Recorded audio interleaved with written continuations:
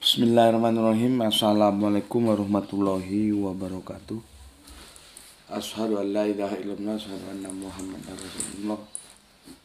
Allahumma sholli ala sayyidina Muhammad wa ala ali sayyidina Muhammad. Kama sholli ta'ala sayyidina Ibrahim wa ala ali sayyidina Ibrahim. Bil alamina inaka hamidum majid. Sebelumnya kita panjatkan dahulu doa kepada Gusti Allah Agung untuk saudara-saudara kita yang telah memberikan solawatnya kepada channel dakwah ini sehingga channel ini dapat dengan setia eksis hadir dalam ruang-ruang diskusi kalian semuanya di mana pun kalian berada tentu dengan sebuah harapan insya Allah solawat itu akan menjadi catatan lagi amal soleh bagi mereka dan keluarganya kala dan insya Allah akan eh, terbalaskan dengan balasan yang lebih baik lagi.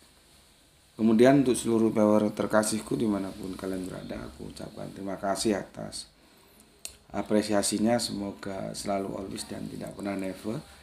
Tetaplah bertumbuh menjadi satu pribadi tangguh yaitu anti skip dan anti download. E, bagi yang berkenan silakan saja di share tapi linknya ya. Jadi jangan diunduh, dipotong-potong nggak karuan lalu diunggah ulang. E, kemudian lagi semuanya aku nggak bisa sebutkan satu persatu. Terima kasih atas doa baiknya untukku dan keluarga dan semoga kebaikan doa itu juga tercurahkan untuk kalian semuanya. Sebagai sesama saudara kita saling mendoakan dalam kebaikan dan insya Allah doa kita bagian dari sekian banyak doa yang dikabulkan Gusti Agung. Amin amin ya robbal alamin.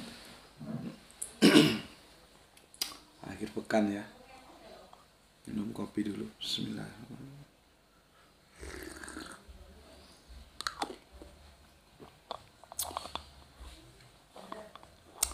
Kemarin kita sudah bahas apa itu roh di kejadian satu ayat 2 ya. Dan kesimpulannya roh itu adalah kuasa. Jadi kuasa Allah dan itu hanya kita dapatkan pada satu terjemahan Injil yaitu di BIS ya.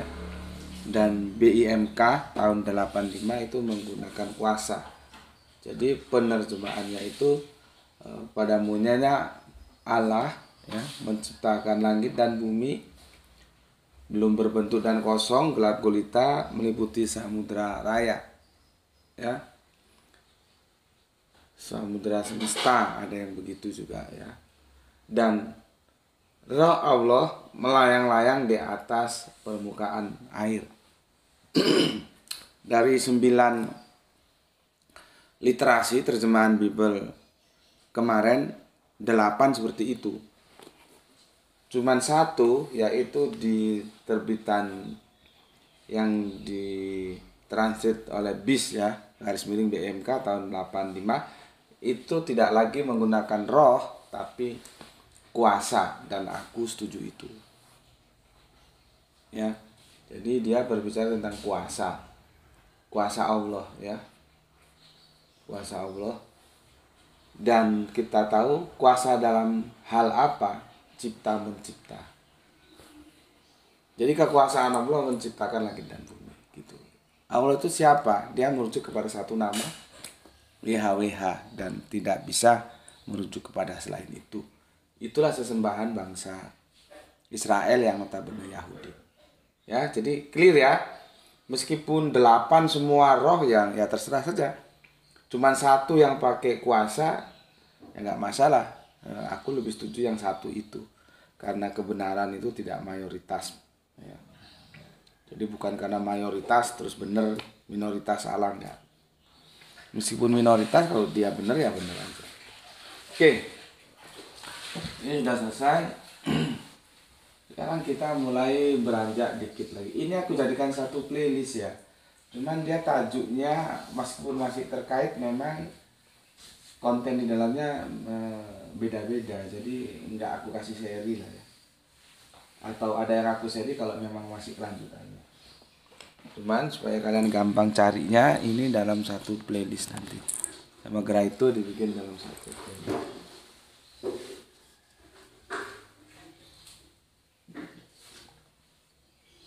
kita itu sering mendengar Roh Kudus. Roh Kudus, ya. Roh Kudus. Tapi Roh Kudus itu sebetulnya gimana sih? Gitu. Nah itu kan belum pada jelas semua. Kalau roh jahat kemarin sudah kita bahas. Sekarang kita bahas Roh Kudus ya. RK.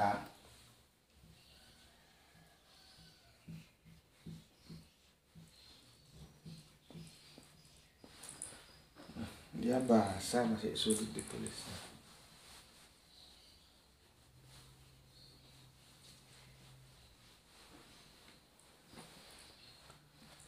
Roh Kudus ya.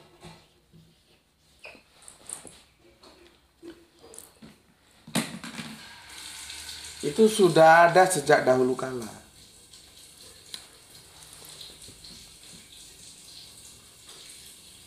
Sulit mas ditulisnya ya, karena bahasa ya. Sementara aku nggak dikasih air nggak bisa dikeringkan. Aku nanti mau coba uh, cari informasi lain katanya kalau nikah itu bisa gampang dihapus ya. sudah ada sejak dahulu kala.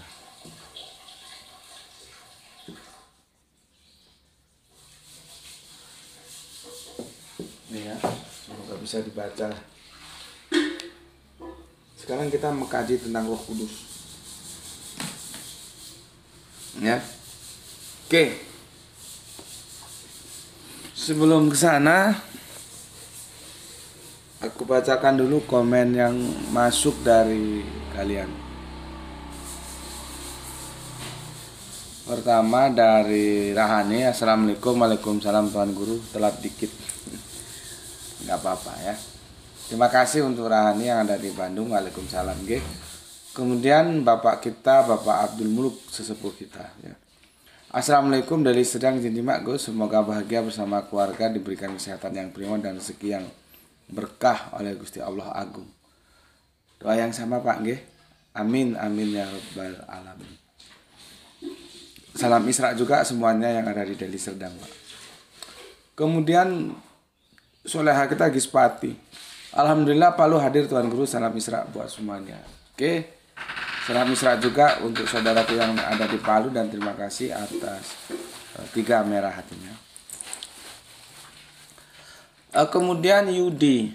Assalamualaikum Gus. Waalaikumsalam. Roh Allah melayang-layang di atas air. Berarti yang menyaksikan hebat. Salam Isra. Yudi salah ini. Yudi eh, salah memahami.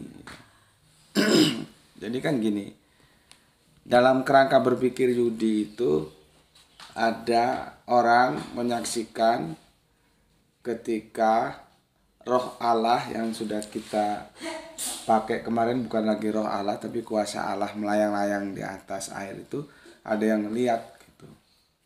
Ada yang lihat terus dicatat terus jadilah kitab kejadian. Dalam kerangka berpikir Yudi seperti itu. Ya, makanya dia kasih komen roh Allah melayang-layang di atas air berarti yang menyaksikannya hebat. Salam Isra. Gini, Yudi salah ya. Tidak begitu, tidak tidak seperti apa yang dalam uh, kerangka pemikiran dia. Nah, ini sebagai bukti aku harus objektif. Kalau salah ya salah, kalau benar ya benar, ya. Jadi pada saat ini Yudi salah, bukan berarti karena yang dikomentari Yudi itu Bible, pokoknya apa saja Bible harus salah, enggak, enggak itu enggak boleh, enggak objektif. Lagi-lagi aku bilangkan aku mengajak kalian berpikir akademis. Dia objektif. Kalau salah salah, kalau benar ya benar. Ya. Jadi gini Yudi, kerangka berpikirmu itu salah. Yang benar itu begini. Peristiwa itu difirmankan oleh Gusti Allah Agung kepada kanjeng Nabi Musa. Bukan bukan terus ada yang ngelihat roh Allah melayang-layang gitu. Terus dicatat terus oleh Musa terus jadilah kitab kejadian. Tidak begitu. Ini informasi.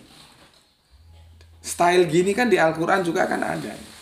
Style bahasa yang kesusunan kalimatnya seperti ini ini ini ada kan. Jadi bukan berarti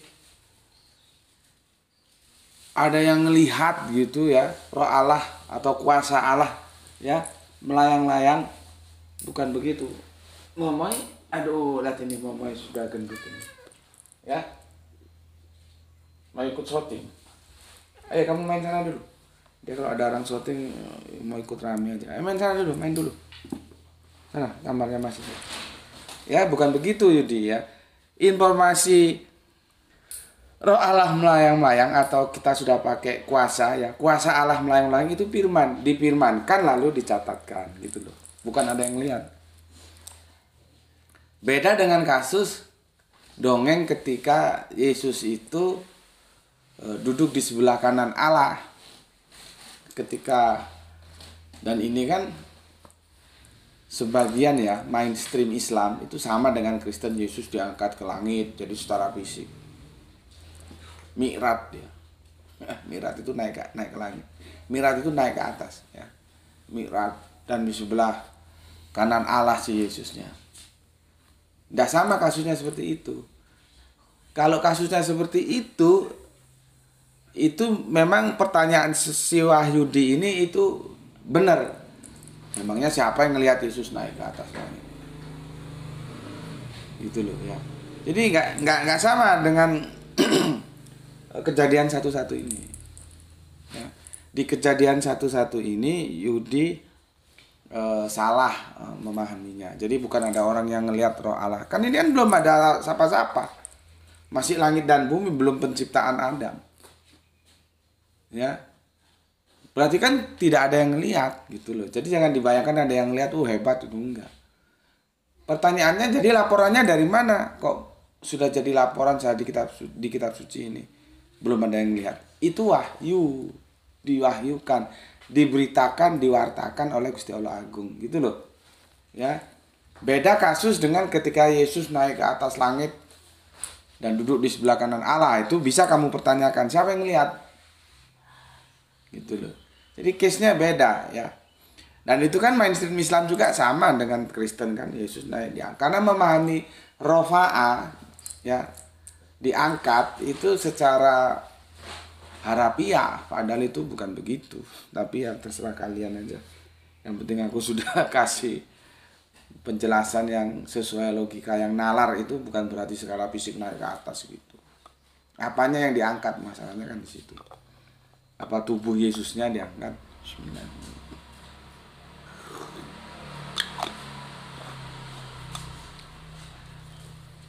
Uh, sebetulnya Kristen maupun Islam yang mainstream itu perlu baca bukunya siapa ya? Jukopik de Tabor gitu ya tentang penemuan makam Yesus. Itu bukunya saintis banget itu dan bacanya memang harus orang-orang suka baca karena jelimet. Penjelasannya jelimet sampai ke rumus-rumus kimianya dijelaskan. Ya bah bahkan hal-hal yang yang sangat itu sebetulnya kerjanya orang-orang di laboratorium itu disertakan jadi kalau nggak suka baca baca buku itu agak berat di mana lagi bukunya tebal pula ya itu menceritakan dengan The Jesus Tam atau makam Yesus. Nah kalau makam Yesus itu ada. Berarti kan Kristen dan Islam mainstream kan keliru memahami Yesus jasadnya diangkat ke langit nanti mau turun setelah jelang kiamat itu kan jadi terbantahkan ya oke itu untuk Yudi ya dari sini supaya yang teman-teman kita kafir itu kalau bertanya itu hati-hati hatinya apa pemahaman gue seperti itu anti mainstream ya seperti aku juga kalau diskusi dengan saudara Kristen itu aku hati-hati, aku tanya dulu. Atau aku perhatikan Kristen yang mana dulu. Nggak asal main embat aja. Karena beda antara yang Tritunggal, Waneses, tahu itu beda-beda persikapannya. ya. Oke. Yudi sudah Kang Sahran Bandung ya. Uh, penyimak pagi yang cerah, mantap. Kang Joanto Anto dari Cirebon yang punya Cirebon, terima kasih atas tiga. Eh bukan tiga ini. Eh tapi nggak apa-apa lah ya tiga kali tiga kali empat nih sepertinya. Jadi ada dua belas merah hatinya. Oke terima kasih yang punya Cirebon Kang Joanto Anto. Kemudian uh, juragan bendungan kita ya. Oke di kopi Gus Kang Irfan Akbar. Roh yang melayang itu adalah kuasa Allah yang melayang di atas air. Cikal bakal semesta raya. Mantap. Oke, terima kasih. Kemudian dari Jambi ya, masih di Jambi dia. Kita ke Kang Mas Didi ini di Brebes ya. Kejadian 12. Kuasa Allah mencakup bahan dasar alam semesta Eh, zaman Musa nggak kenal istilah oksigen, hidrogen, ferum atau gas asal muasal bahan baku alam semesta, maka ditulis air ya, seperti Quran surat 21 30. Ya. Semua makhluk hidup tergantung dari air, bukan air minum, tapi air adalah oksigen. Maaf Gus kalau kajian tentang roh selesai, tolong bahas huran ya. Kita sudah pernah bahas huran memang, tapi itu belum selesai juga berapa lama itu ya. Nanti gimana aku nyari filenya itu. Cara nyari kembali di antara 2000 sekian video kajian kita itu aku juga nggak begitu bisa. Aku ingat dulu kan kita punya viewer uh, alhamdulillah wanita soleha ya mualaf dia tanya tentang bidadari karena itu banyak disalahpahami ya oleh saudara-saudara Kristen kita. Tetapi kesalahan itu nggak bisa juga serta ditempahkan kepada mereka. Karena di internal Islam sendiri banyak yang ngaco memahami huran. Widodari huran gitu ya. Jadi hampir sama. Huran dalam Islam itu hampir sama dengan Roh Kudus dalam kekristenan itu orang tidak semua itu pemahamannya satu dan ngerti sebetulnya Roh Kudus. Oh Roh Kudus gue sama dengan ini widadari ini huran ini. Kalau kita baca terjemahan uh, Al-Qur'an bidadari itu kan dari diksi originalnya kan tuh huran ya. Sebetulnya apa sih bidadari itu cuman kan uh, banyak yang ustadz-ustadz hanya modal jenggot sama sorban aja tapi ya pemikirannya juga kacau ya. Dia aduh, aduh jangan naik saya jangan naik. Dia mau keluar. Uh, pemikirannya kacau seolah-olah bidadari itu personal dan itu perempuan dan terus perawan-perawan uh, kan jadi ngawur jadi ke sana. Karena gagal juga memahami mutoharot mutoharotun itu suci Ya memang sih kalau wanita itu harus suci, harus perawan gitu ya. Tapi di teks itu nggak ke sana. Gue juga nggak tahu menerjemahkan terus nanti di surga dapat istri bidadari-bidadari, perawan-perawan kan jadi ngaco. Lah kalau kamu dapat bidadari terus istrimu mau kamu jadikan apa? Cuman pemahaman itu menjadi mainstream di internal Islam. Artinya kalau saudara Kristen kafir kita juga salah memahami, mereka nggak bisa sepenuhnya disalahkan. Gitu loh. Karena ngaco. Ya. Jauh-jauh itu pasangan, ya. Pasangan itu ya bisa istri bisa enggak. Di sana masalahnya eh apa ya? Huran itu menjadi personal dan itu objeknya laki ya laki dapat pasangan dapat istri terus diksi mutoharotun itu bersih suci. Langkah step pertama memahami huran sudah salah langkah step kedua memahami mutaharotun salah jadi dua kali salah. Bersih suci itu kan ya belum tentu bisa diterjemahkan tentang wanita yang perawan. Hati suci bisa jadi ketika kerangka berpikirnya sudah salah, seolah-olah itu tentang hubungan suami istri, ya jadi salah semua. Sama dengan Roh Kudus ini nanti dalam kekristenan. Ini, ini siapa coba? Nanti pertarungan kita lebih keras kita kalau berhadapan dengan Kristen Tritunggal. Kalau sama Kristen Wanese sama Oskis itu ya aman lah. Kristen Tauhid aman. Dengan Waneses juga bermasalah. Tapi paling kuat benturannya dengan Kristen Tritunggal. Jadi dalam kekristenan tentang Roh Kudus itu juga samar-samar di dalam pemikiran Islam juga tentang huran itu samar-samar. Jadi foto aja. Makanya jangan kalau bisa itu kalau punya rezeki itu beli Al-Qur'an ya dari berbagai versi terjemahan supaya literasi kita itu tambah. Ya, tambah. Huran itu sudah kita bahas Mas, cuman belum selesai memang. Itu ada dua atau tiga tahun yang lalu cuman uh, gimana ya besok coba ya aku aku lihat. Besok kan ini kan sabah ya besok ahad ya. Kalau sekarang kita bahas roh kudus. Jadi gitu ya jangan terjebak. Kalau kamu buka terjemahan depak ya seperti itu kan ada itu ustadz dari mana itu gue sampai gue pikir ini ustadz model gini gimana jadinya yang ikuti kajian gitu karena kalau sudah surga, bidadari, suci, sudah begitu. Urusannya urusan eh, laki-laki uh, terhadap perempuan. Itu yang harusnya dikoreksi gitu loh ya. Ya kalau cuma urusan begitu aja ngapain harus ke surga? ya. Oke, itu Kang Mas Didik insya Allah besok ya coba kita lihat karena aku sudah terlanjur uh, akan membahas Roh Kudus gitu. Eh, ini sudah aku baca semua belum ya? Sebentar, takutnya ada yang terlewat. Lain ya, mungkin teman-teman kan sebelum di sini sudah ngaji ke mana-mana. Lain, aku menjelaskan bidadari itu lain, nggak seperti depak, seperti terjemahan-terjemahan umum. Gitu ya.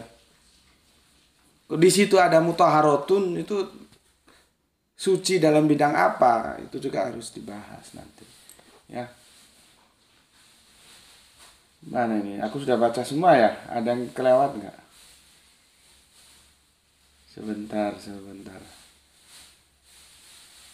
kalau yang di dalam-dalam aku nggak baca lah ya karena harus nyari ke dalam juga kan sulit oke itu dulu ya. Sekarang kita fokus ke sini.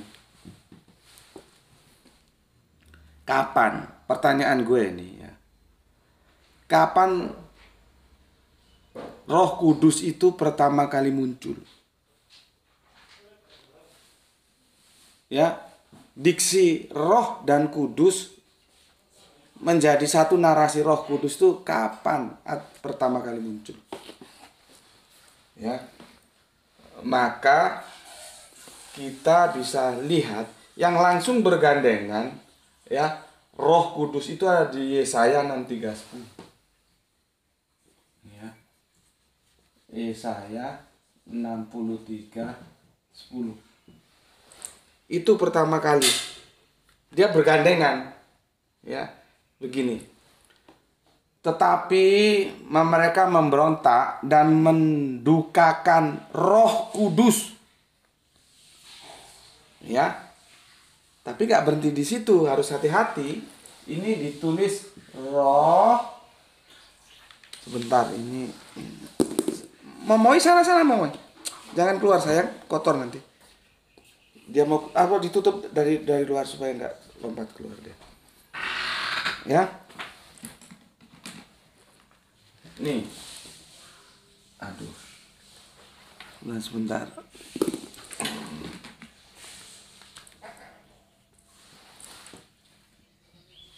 Roh ya. Kudus. Ini muncul di Yesaya 6:310. Ya. Tetapi jangan lupa, ini adalah terusannya. Roh Kudusnya Siapa itu yang punya? Mobilnya, motornya, bukunya, meongnya handphonenya nya itu mesti kepada personal ya jadi kita di sini diingatkan ada personalnya yang memiliki Roh Kudus ini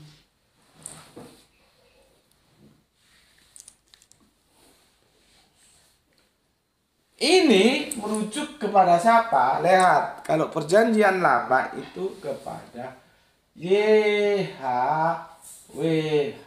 atau alif lam lam H.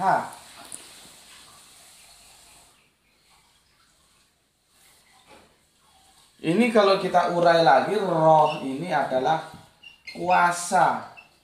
Kudus itu dia kados terpisah apa ya transenden.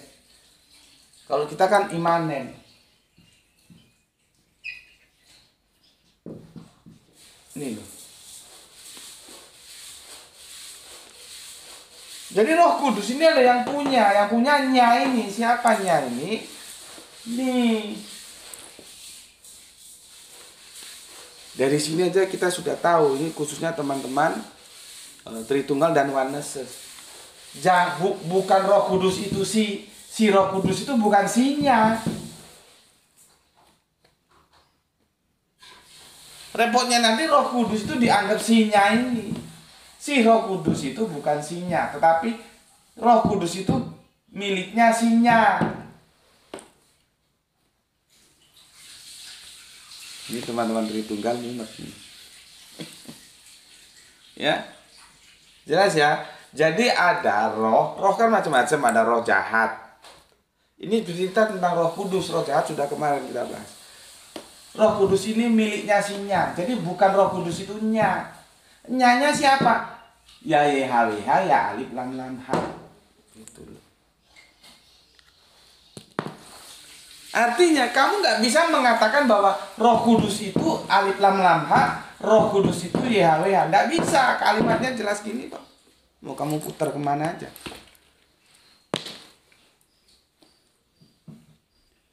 Mau kamu bolak mau kamu balik mau kamu bikin. Kalimatnya sudah begini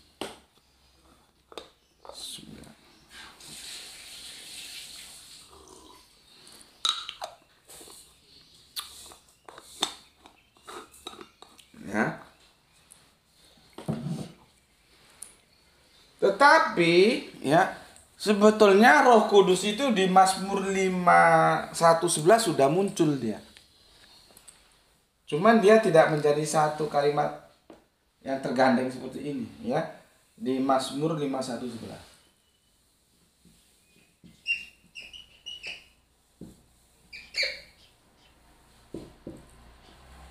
Ini sudah muncul dia. Cuman begini, Janganlah membuang aku dari hadapanmu dan janganlah mengambil rohmu yang kudus daripadaku. Jadi roh kita itu rohnya dia. Roh kita itu bukan roh milik kita loh ya. Makanya kematian itu nggak nggak bisa kita atur atur. Ya. Aku bacakan lagi. Janganlah membuang aku dari hadapanmu dan janganlah mengambil rohmu yang kudus daripadaku. Jadi roh kita itu bukan milik kita, tapi milik dia. Ya. Di sini eh, Nah, ini hati-hati ini. Hati-hati. Di sini dia R-nya nggak besar seperti ini, Roh Kudus. Kan Tuhan yang begini kan sudah aku ajarkan. Tuhan yang begini hati-hati dengan Tuhan yang begini. Nah di sini dia rohnya begini, nggak pakai air besar, tapi tetap aja nya, tetap saja di sini mu. Baru nanti yang kudus juga kayaknya nggak besar seperti ini.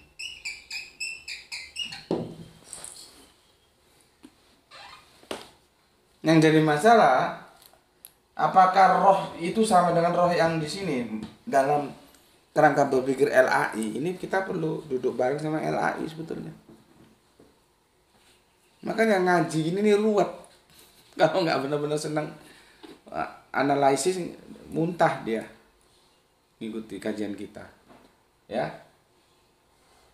Kenapa demikian? Karena dalam huruf-huruf Arabiun dan Ibrani nggak ada huruf besar huruf kecil seperti R ya ro ya begitu. Ya. Kap ya begitu nggak ada kap besar kap kecil kop besar kop kecil nggak ada ro besar ro kecil nggak ada ketika masuk dalam terjemahan kita dan kita pakai huruf-huruf Latin, dia ada huruf besar ada huruf kecil. Jadinya begini. Ya. Artinya pemahaman LA ini ya bisa benar tapi juga bisa juga salah. Apakah roh di sini berbeda dengan roh yang di sini? Itu loh maksud gue ya. Cuman itu memang jelimet kita langsung ke sini saja. Artinya rohmu yang kudus. Jadi Diksi roh yang terpisah itu sebetulnya di Mazmur sudah ada. Ya. Dari itu, Bapak ambilin spidol tuh. Ini karena bahasa atau memang spidolnya habis nggak tahu. Dari itu, yang warna hitam tuh. Ini ya. Oh sudah sudah tuh. Ini, ini ya. Roh ini kudus. Berarti ambilin yang merah ambilin yang merah di sini jadi satu dia roh kudus. Kalau di sini dia terpisah rohmu yang kudus.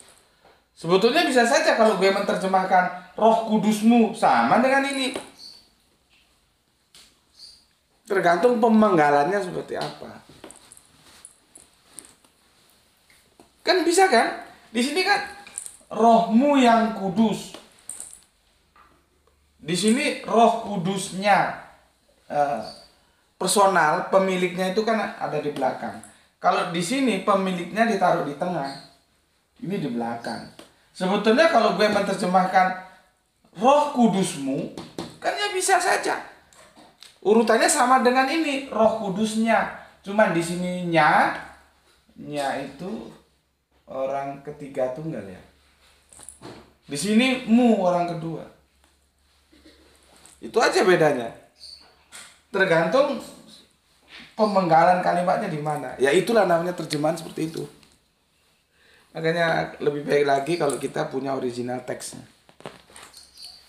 Kan bisa LAI menerjemahkan rohmu yang kudus. Kan bisa aku menerjemahkan roh kudusmu. Apa bedanya? supaya dia selaras dengan ini. Kalau ini dia roh kudusnya. Lah kalau pemenggalan ini kita terapkan di sini kan jadinya kan roh kudusmu bukan rohmu yang kudus.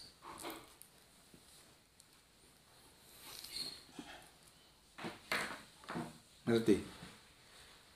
Yang begini-begini di sekolah Alkitab belum tentu diajarin. Makanya insya Allah kalau ngaji di sini nggak semua ngaji nggak apa-apa entah kamu Islam entah kamu Kristen nggak apa-apa orang sebagai kita kan membahasnya dari dari sisi ilmu ya jadi nggak usah alergi. Begitu juga kalau gue jelasin Al-Quran mau you kafir apa pun tuh urusanmu nggak ada masalah. Kita ini kan belajar di sini. Perkara iman nanti kan urusannya masing-masing. Tapi kalau kamu bersahadat setelah hmm, belajar Al-Quran di sini ya alhamdulillah. Itu loh. Cuman kan bukan urusan gue, iman itu urusan lu.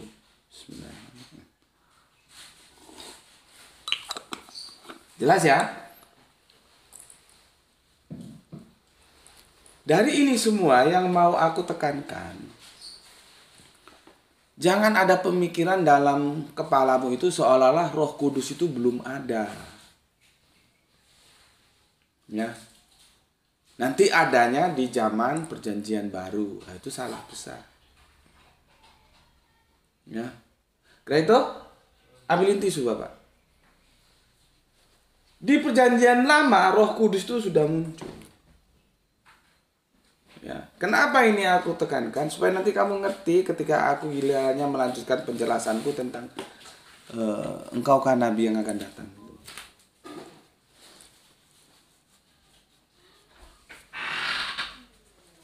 ya Oke, ini di perjanjian lama.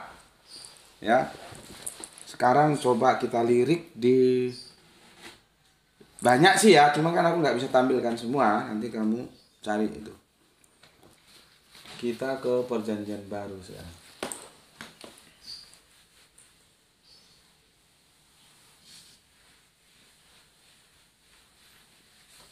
Repotnya kalau kamu pahami, oh Roh Kudus itu adanya di perjanjian baru. Nah, repot. Itu untuk pembenaran Tritunggal aja loh.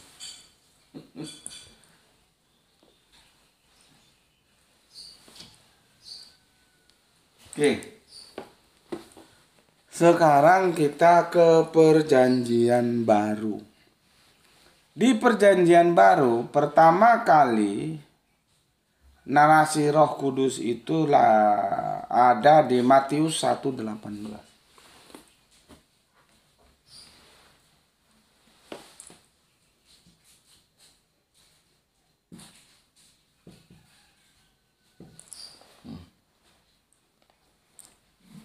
Ya, aku jelaskan.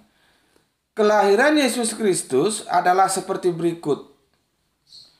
Pada waktu Maria, ibunya, bertunangan dengan Yusuf. Ternyata ia mengandung dari roh kudus. Kalau di Al-Quran itu kan dari roh. Sudah kita bahas kemarin ya. Yang sama kafir itu disalahpahami. Dikirain ayatnya terjadi kesalahan korespondensi ya. Roh Kudus. Ya. Aku baca lagi Matius 1:18. Kelahiran Yesus Kristus adalah seperti berikut. Pada waktu Maria ibunya bertunangan dengan Yusuf, ternyata ia mengandung dari Roh Kudus mengandungnya dari Roh Kudus. Kalau di surat uh, waktu kita mengkomparasi surat Maryam dan surat Ali Imran itu kemarin kan yang di satu sisi uh, ternyata malaikat dalam satu sisi roh. Masalahnya lagi pembaca-pembaca Al-Qur'an kalau sudah ketemu roh itu terus disandarkan ke Jibril dan itu malaikat. Itu sudah salah lagi. ya Ada apa itu tuh?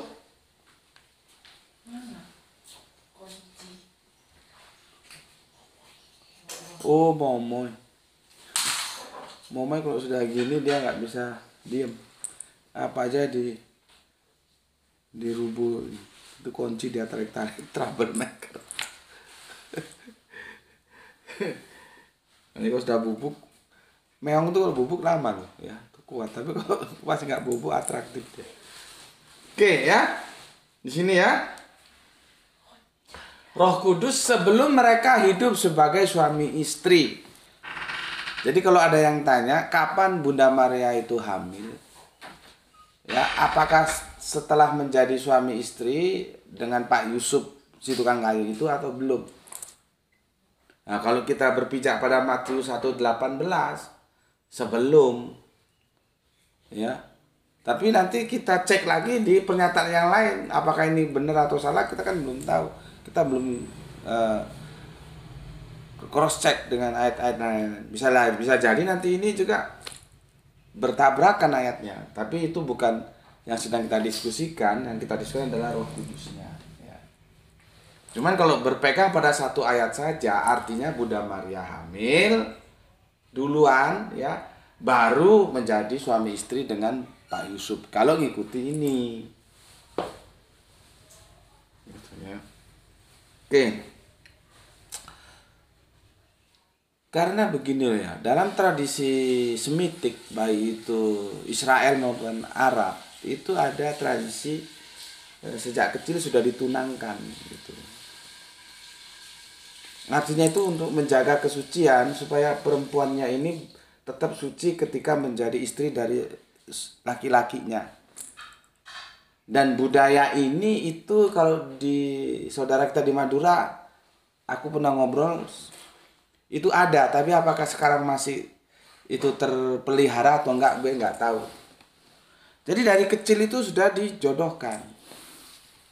Makanya kan ada penjelasan Rifka itu dinikahi oleh eh, siapa Pak Yakob itu kan usia dini juga tiga tahun atau berapa ini supaya teman-teman Kristen tahu duduk permasalahannya jangan menyerang kanjeng Nabi Muhammad menikahi anak kecil bocil yang katanya enam tahun. Lihat dulu bagaimana budaya semitik itu dan dan itu bukan berarti terus hidup sebagai suami istri, enggak. Itu perjodohan. Kenapa dari kecil supaya kita tahu? Kenapa perjodohannya dari kecil? Untuk menjaga kesucian supaya tidak menjadi barang bekas gitu loh. Nah itu tutup tuh ya supaya supaya supaya benar-benar original istrinya mendapat itu sebuah suatu keadaan yang suci original tidak menjadi barang bekas di hadapan suaminya gitu loh. Jadi itu dijodohkan. Cuman kan pikiran-pikiran kafir yang menyerang kanjeng Nabi Muhammad ini dasar pikiran bejat ya begitu. Terus kanjeng Nabi di bilang pe, apa pedofilia enggak coba lihat sejarahnya Ribka berapa tahun itu diambil oleh Pak Yakob kalau nggak salah tiga tahun lebih kecil lagi kalau itu berdasarkan catatan-catatan yang karena ini kan catatan lama. Artinya apakah benar demikian? Ya perlu riset lagi. Kecuali kalau dia tertera dalam kitab suci ya itu sudah ya adanya begitu karena absolut. Tapi selama catatan sejarah itu ya perlu dicari uh, kebenaran itu seperti apa sih gitu. Terlepas dari budaya semitik uh, budaya kan satu rumpun mereka Arab dan Israel seperti itu sejak kecil tuh sudah di, dijodohkan dan itu untuk menjaga kesucian ya. ini kafir-kafir Kristen biar tahu ini jadi jangan ngomong sembarangan bilang Nabi Muhammad pedofilia. Kalau kamu ngomong Nabi Muhammad pedofilia, maka kamu juga harus ngomong Yakob itu pedofilia. Karena itu usianya tiga tahun, nanti supaya kepalamu ditempeleng sama orang Yahudi sana. Kon goblok. Ya. Oke. Itu Matius eh, 1:18 ya, aku ulangi lagi. Kelahiran Yesus Kristus adalah seperti berikut. Pada waktu Maria ibunya bertunangan dengan Yusuf, ternyata ia mengandung dari Roh Kudus sebelum mereka hidup sebagai suami istri. Makanya nanti kalau kita baca berikutnya, Pak Yusuf kan terus mau menceraikan Ya kan Pak Yusuf kan juga berpikir loh ini belum diapa-apain kok perutnya sudah gede siapa ini? Ini nyeleweng ini kan begitu. Tapi terus dilarang. Ya, kita lihat Matius 1:20. Tetapi ketika ia mempertimbangkan maksud itu, maksudnya Pak Yusuf mau menceraikan Bunda Maria karena Pak Yusuf belum ngapa-ngapain kok perutnya gede kan gitu kan. Lalu turunlah malaikat Tuhan nampak kepadanya dalam mimpi dan berkata, Yusuf anak Daud, janganlah engkau takut mengambil Maria sebagai istrimu. Sebab anak yang di dalam kandungannya itu adalah dari roh kudus. Muncul lagi dia. Ini di Matius 1.20.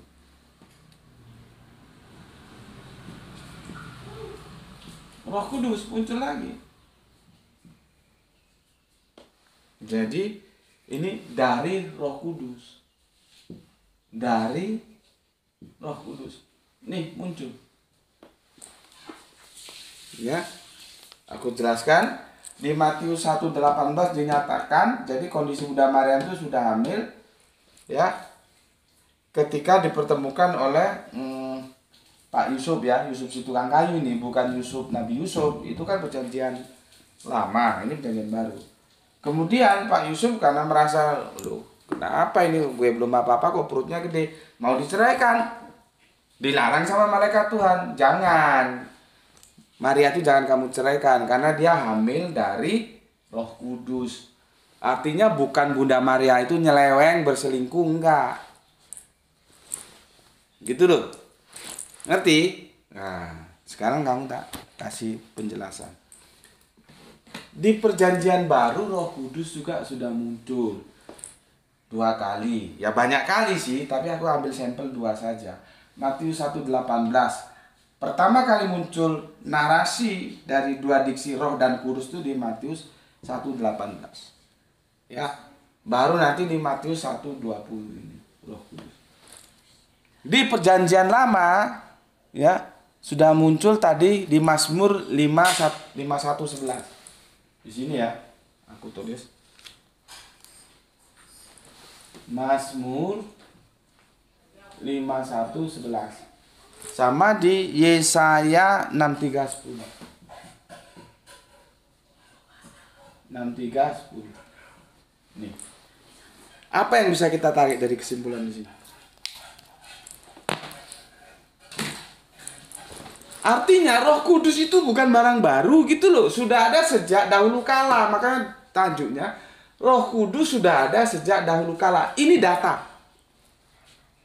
Gue bicara by data. Roh Kudus sudah ada sejak zaman dahulu kala. Jadi jangan dalam otak lu itu nanti ketika aku menjelaskan tentang nabi yang akan datang gitu, Roh Kudus itu seolah-olah ya itu yang diminta kepada Bapa oleh Yesus. Yesus kan bilang, "Aku akan minta kepada Bapa seorang penolong yang lain." Terus penolong yang lain itu Roh Kudus, terus Roh Kudus kamu jadikan Allah. Bubar. Itu ada dalam dogma iya, tapi tidak ada dalam Alkitab.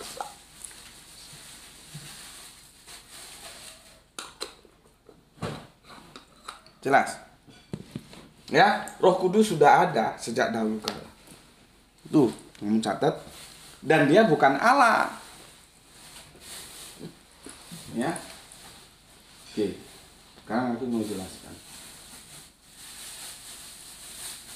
Kan kalau kita buka ya kitab Yohanes itu kan aku akan minta kepada Bapa seorang penolong yang lain.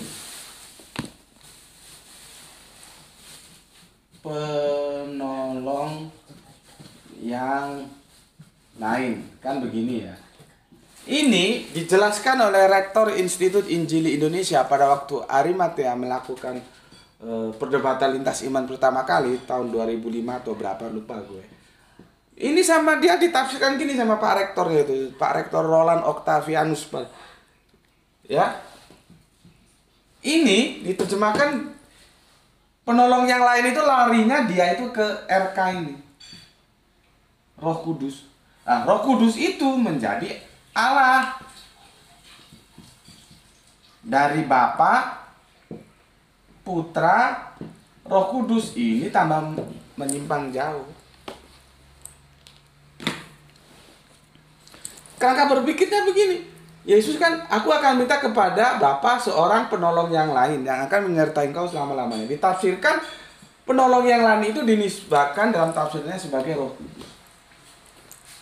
Itu sudah nyeleweng pertama. Nyeleweng berikutnya karena dalam Tritunggal ada tiga Allah. Nah, nanti nggak terima dia kalau ditanyain kalau dibilang tiga Allah. Tapi kalau ditanyai Bapak itu siapa? Allah. Roh eh, Putra itu siapa? Allah. Roh Kudus itu siapa? Allah. Tapi nggak mau dia bilang tiga Allah. Kan repot. Jadi satu tambah satu tambah satu satu itu ada dalam domain iman. Artinya kalau kamu mengimani seperti itu ya sudah kami hormati aja. Cuman kajian kita itu tidak mengkaji iman, kita mengkaji pengetahuan. Dalam domain pengetahuan, satu tambah satu tambah satu, ya tiga. Jadi otaknya itu harus ngerti mana bicara domain iman, mana berbicara domain pengetahuan. Kalau teman-teman Kristen Tritunggal kita ngotot satu tambah satu tambah satu sama dengan satu dia bilang. Nggak usah dibantah. Iya terserahlah. Tapi itu domain iman loh ya bukan domain pengetahuan. Karena sampai mampus domain pengetahuan itu adalah satu tambah satu tambah satu ya tiga. Itu untuk ranti yang masih kelas 4 SD aja ngerti. Nggak perlu dokter makanya ada dokter dari saudara-saudara kita yang Kristen ya jelas menurut Tritunggal terus dia bilang enggak kami Tuhan kami satu. Tapi kok ada yang lain? Padahal sudah dijelaskan jangan adakan Allah lain di hadapanku. Di Ten Commandment seperti itu. Nah, dia menghadirkan yang lain selain Bapa dihadirkanlah lagi Putra dan Roh Kudus. Kan bertentangan dengan Ten Commandment Padahal Ten Commandment Bapak ini sudah ngomong, jangan adakan Allah lain di hadapanku. Eh, ini dihadirkan lagi. Putra dan Roh Kudus. Dan fokus kita pada saat ini Roh Kudus. Jadi kalau Roh Kudus itu dinyatakan Allah, salah bos. Aku sudah jelaskan dari di perjanjian lama. Roh Kudus itu justru kepunyaan Allah. Itu yang pertama. Ya. Jelas ya? Kemudian dalam tafsiran Islam khususnya gue nih, nanti aku jelaskan penolong yang lain itu siapa. Ini yang belum selesai. Hmm. Jadi pertarungan-pertarungan di dalam perdebatan Islam Kristen ketika dia membahas tentang penolong yang lain itu nanti ribetnya ketika Siapa penolong yang lain? Maka teman-teman Tritunggal membawanya kepada Roh Kudus. Sedangkan kita tidak.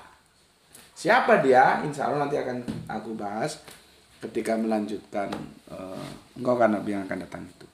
Oke, sampai di sini dulu ya uh, kajian kita ya. Maunya sih cuma setengah jam, tapi yang Nabi bisa ngaji setengah jam. Akhirnya satu jam kurang 8 menit ya. Bismillahirrahmanirrahim.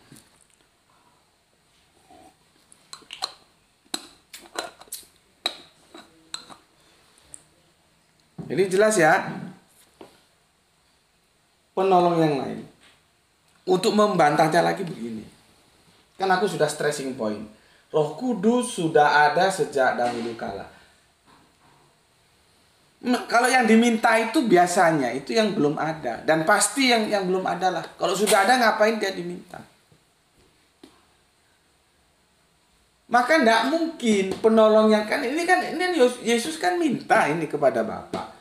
Ya, aku akan minta kepada Bapa penolong yang lain. Kenapa diminta? Karena belum ada. Jadi nggak mungkin penolong yang lain itu bisa dinisbahkan ke Roh Kudus seperti teman-teman Tritunggal. Karena apa? Roh Kudus sudah ada sejak dahulu kala. Gitu loh. Aku sama mamanya Gra itu aku minta bikinin kopi gitu. Kira-kira kopinya sudah ada belum? Logika saudaranya begitu. Kan belum. Kalau sudah ada nggak mungkin aku minta bikinin kopi. Orang sudah ada kok minta. Begitu juga ini. Gak mungkin roh kudus itu adalah nisbah dari penolong yang lain. Karena ini kan permintaan. Kenapa Yesus minta? Karena belum ada. Jadi kalau dinisbahkan ke roh kudus jelas salah. Karena roh kudus sudah ada sejak zaman perjanjian lama. Ayo, ngerti nggak? Ini nggak perlu kamu sekolah Alkitab tinggi-tinggi. Kalau hasilnya tetap aja goblok sampai nanti S1, S2, S3 ngaji di sini aja bareng Gus Beti. Insya Allah kamu pintar. Ini untuk yang Kristen-Kristen. Masalah kamu nanti tetap Kristen atau kamu bersahadat jadi Islam itu urusan kamu. Aku nggak mau ngurusi iman kamu, nggak mau campuri. Itu hak setiap orang termasuk hakmu yang aku harus hormati.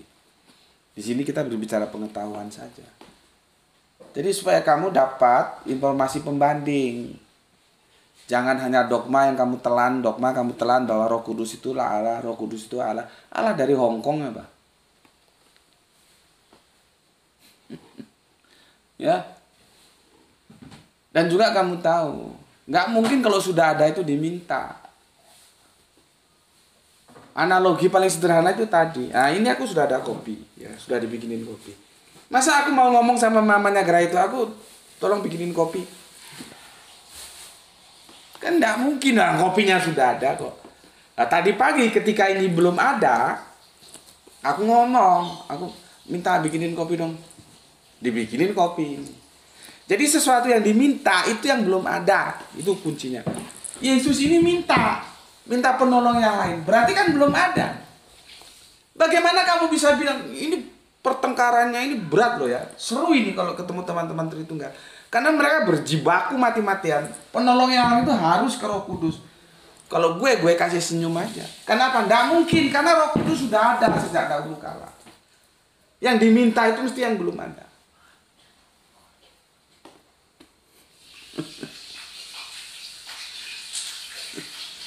Nah, tapi kamu Islam harus bisa menjelaskan. Berarti siapa dong penolong yang lain itu? Makanya kan dia pernah cerita. Jadi waktu itu gue ke Sumatera masuk ke dalam mau ke kota itu nunut. Nunut itu apa ya bahasa Indonesia-nya? Nunut apa ya bahasa Indonesia Irfan lah biar jelasin nunut mobil. Nah, yang punya mobil ini bukan misionaris sih, tapi dia penyandang dananya karena dia orang kaya. Nah, kami berdua dalam satu mobil, kami diskusi akhirnya. Nah, dia mengatakan eh, teman dia dan teman-temannya masih mencari penolong yang lain ini siapa. Nah, mereka eh, kiblat pendidikannya, pendidikan Alkitabnya itu di Australia sana. Tapi si, si teman yang kaya ini yang punya mobil ini bukan bukan dia ikut sekolah di Australia enggak. Dia penyandang memang dia uh, orang kaya jadi dia, dia cuma penyandang dananya. Dia menceritakan kelompoknya dia yang di mana bos-bosnya misionarisnya itu sekolah Alkitabnya di Australia gitu loh. Di dalam mobil diskusi dengan aku. Gue juga nggak tahu gimana ceritanya kok bisa mendiskusikan penolong yang lain. Nah, dia bilang kami sedang mencari penolong yang lain ini siapa. Maka aku bilang, kami orang Islam sudah menemukan tidak usah mencari. Tapi masalahnya yang kami temukan itu kamu terima atau tidak itu hal lain. itu diskusinya di dalam mobil ada kira-kira uh, dua jam perjalanan. Aku bilang begitu. Kalau kami nggak usah mencari karena kami sudah menemukan siapa yang dimaksud penolong yang lain. Masalahnya kalau penolong yang lain yang yang kami temukan kami sodorkan ke kalian, apakah kalian mau menerima? Itu loh. Cuman kan yang asiknya kekristenan dia itu tidak serta merta menjatuhkan roh uh, penolong yang lain itu kepada roh kudus. Kalau ini kan Kristen mainstream ini. Itu pun yang Tritunggal. Coba nanti kita tunggu komentarnya Oskis. Apakah dia enggak menurutku enggak sama. Ini, ini yang kujalankan Tritunggal. Kalau tauhid enggak enggak pernah mengatakan Roh Kudus itu Allah.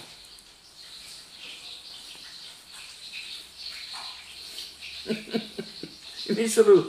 Ya, diskusinya panjang di mobil itu. Cuman ya seperti itu ya. Apakah kalian bisa menerima kalau kami menyodorkan satu sosok, satu personal, satu nama tentang siapa itu penolong yang lain dan dia merupakan yang diminta oleh Yesus untuk melanjutkan dakwah ini. Jadi itu abrogasi gitu ya. Cuman karena di perjalanan ya, diskusinya nggak nggak tuntas, nggak tuntas diskusi itu nggak tuntas dan satu waktu lagi aku minta dijembatani oleh pihak ketiga ya supaya dia mau lagi diskusi dengan aku. Tapi sampai sekarang ini akhirnya itu sudah berapa lama ya? Sudah lama itu ada delapan tahun yang lalu. Akhirnya kami tidak pernah ketemu lagi. Dan kesan yang aku tangkap eh, dia menghindar. Makanya aku minta tolong kepada pihak ketiga untuk bisa mengupayakan kami melanjutkan diskusi itu. Karena dia akhirnya menghindar, nggak mau menuntaskan. Ya. Kalau aku yang maksa-maksa kan nggak enak, nggak nggak nggak elok lah, nggak bagus. Aku maunya sama-sama. Ayo kita duduk bareng, memang diskusi ini sama-sama kita ingini. Mau kan begitu. Seperti awalnya dulu. Awalnya dulu enak. Tapi karena di jalan tidak berlanjut, nah aku ingin melanjutkan lagi di dianya sudah nggak mau maka aku minta pihak ketiga untuk me mempertemukan. Juga nggak mau gitu. Ya. Oke sampai di sini dulu penjelasannya. Semoga ada manfaat yang kita bisa ambil ya. Pesan aku jaga Allah jaga kancing Nabi jaga Al-Quran jaga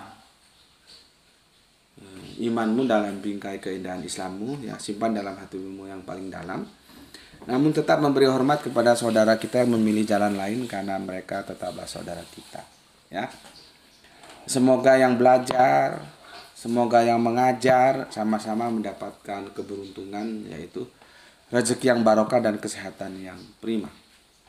Ya. Ingat akhir pekan kalau kalian sedang jalan-jalan nanti waktunya sholat masuk ya berhenti sejenak. Sekarang sudah gampang tidak sulit untuk mencari masjid, untuk mencari langgar atau musola atau surau. Tunaikan dulu sholatnya dan nanti mau jalan-jalan lagi monggo silahkan. Dan kalau kalian sedang mengajak jalan-jalan bersama kalian siapa pun dia, entah itu pembantumu, entah itu apamu lah. Maka ketika makan, makanlah di atas meja yang sama dan makanan yang sama. Jangan biarkan supirmu atau pembantumu nongkrong nunggu di tempat parkir sementara kalian makan. Enggak boleh begitu ya. Enggak elok. Ajak makan bersama-sama karena dia juga punya perut seperti kamu yang bisa lapar. Ya. Oke. Uh, terima kasih telah mengalokasikan waktunya ngaji bareng seperti di channel ini dan salam Isra Islam rasional. Alhamdulillahirobbil alamin.